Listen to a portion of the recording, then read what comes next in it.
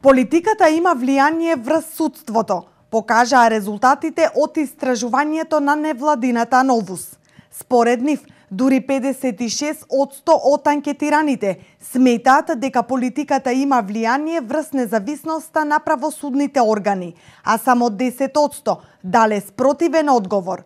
Од вкупно 260 испитаници, само 6 од 100 изјавиле дека имаат доверба во судството, 35% делумно веруваат, а додека 42% немаат воопшто доверба дека судството работи според законските прописи. Во однос на прашањето за политичкото влијание, дали политиката има влијание врз независност и објективноста на правосудниот систем, значи дури 56% од испитаниците сметаат дека таа има влијание, индиректно или директно, што е повторно сосема солидна бројка, а додека значи само 7% од испитаниците сметаа дека судот во општина, во општина Струмица е непристрасен и транспарентен, што исто така сосема спротивно до оно што не беше кажано од представниците од правосудните органи.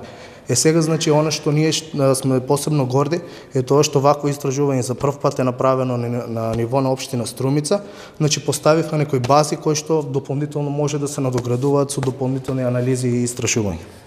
Повеќе од анкетираните сметаат дека судот во Струмица е нетранспарентен и необјективен. Дури 35% од испитаниците на невладината Новус вака одговориле на ова прашање.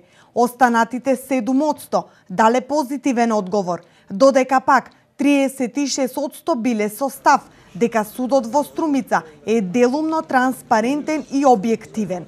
Според истражувањата на Сдруженијето Новус, кои неодамна беа презентирани во Струмица, повеќето од испитаниците не се запознаени ниту со работата на судството. Во истражувањето на јавното мислење на Сдруженијето Новус, учествувале граѓани, бизнис секторот, администрацијата и представници на локални и високо образовни институции.